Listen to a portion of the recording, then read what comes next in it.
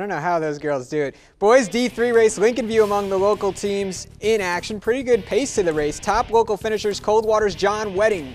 Wenning, seventh overall, right behind him, Crestview's Micah Grandstaff in eighth. St. Henry Spencer Schulte makes the podium in 11th place. LCC's Alex Rigg, All Ohio 2 in 14th. And Lincoln View's Bailey Toe cracks the top 16. For the team results, Lincoln View finishes in 10th. St. Henry 11th, Anna 12th, Russia 14th, Botkins 15th. For Wenning that final stretch and crossing in 7th is a moment he will never forget. Well, at the very end, uh, we came out of the woods and uh, I just wanted to go. So uh, I started going and there was a pack in front of me and uh, that final straightaway when I was able to take them one by one, it's just an overwhelming feeling that uh, all the hard work you put into the season, all four years, all six years, counting the uh, junior high years, uh, it really paid off, and it was just the best feeling I've ever had.